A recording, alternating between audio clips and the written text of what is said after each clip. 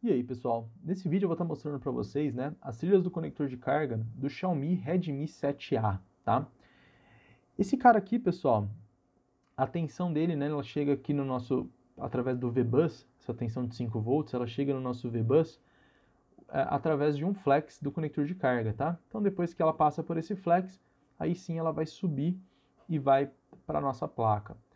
Aí ela chega de um lado e vai para o outro da placa, né, pessoal? Então a gente consegue ver aqui, a gente tem até um test point aqui para a gente testar se está chegando 5 volts, né? A gente pode fazer o teste aí dessa tensão de entrada usando o multímetro na escala de tensão contínua. Deixa uma ponta aqui num dos terras, né? Então pode deixar numa blindagem ou então nessas áreas aqui douradas, né, que ficam nos cantos. E a outra ponta de prova a gente coloca aqui nesse VBus. Pessoal, colocou aqui nesse VBus, né? A gente já consegue olhar que a tensão ela sobe aqui para cima. E aí a gente vai ter uma entrada de 5 volts que passa nesse capacitor. Vai para esse CI aqui da Qualcomm, que é o gerenciador de carga nosso, né? Nosso gerenciador de energia. De energia e de carga, perdão.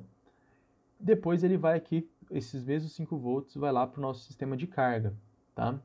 Aqui a gente tem 4 volts para power, né? Para ligar o aparelho e 5 volts aí para o sistema de carga.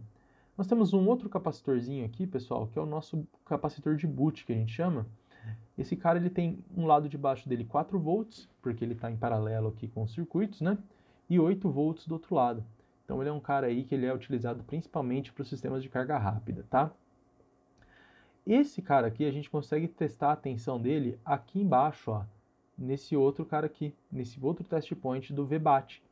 Esses, esses dois caras eles têm que ter uma tensão de 4 volts, tá? Que é a tensão que é enviada realmente aqui para o nosso conector. Beleza, pessoal? Bom, pessoal, basicamente é isso. Qualquer dúvida é só nos chamar no suporte.